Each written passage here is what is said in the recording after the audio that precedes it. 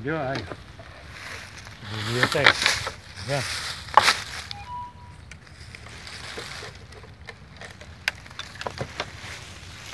Deve deixar ele secando lá.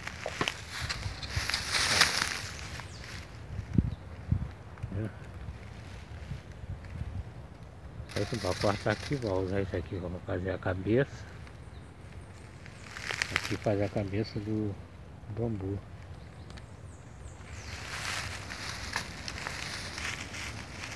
Ele cortado na lua, ele dá essa sonoridade aqui. Imagina ele seco, entendeu? Aqui ele tá verde. Aqui ele tá verde. Aí ele vai secando e vai ficando com um som melhor ainda. Entendeu? E por que, que tem a história da lua? A lua, você cortando ele, ele na lua, ele te dá uma, uma. ele fica mais. mais forte com, com, e dá essa sonoridade aqui. Entendeu? Mas que lua? Fica mais fino. É o, é o, o quarto minguante. A lua é quarto minguante. Fica aquele bambu fino para ele não, não desfiar também. Ele fica bem lisinho, como se fosse assim, ó. Fica assim como um, um gomo de bambu. Aí o que que acontece? Ele está meio verde, aí você deixa em casa secando.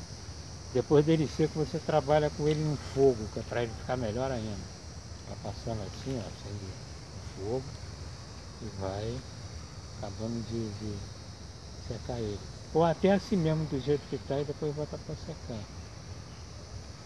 Entendeu? Aí ó, tá vendo? Aí ele vai ficando assim, mais, mais estridente ainda. Aí tu bate ele assim canta. Entendeu? Esse aqui eu vou acabar de cortar. Tá com isso. Acabar de cortar ele. Vai ficar assim. Só não pode perder isso aqui, que isso aqui é que faz a cabeça do bambu. Que é o olho. Esse olho aqui é que é a cabeça do bambu. Você vai arredondando ele. Esse já está cortando. Agora vamos aqui.